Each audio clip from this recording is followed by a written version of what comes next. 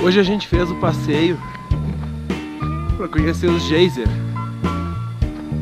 a 4.300 metros de altitude. Como vocês podem ver, nós temos os geysers ali atrás. Lá atrás naquela galera onde tem a piscina onde o pessoal toma banho. Eu não me preparei para tomar banho. Agora nós estamos indo até o, o ônibus, no qual a gente vai ter um café da manhã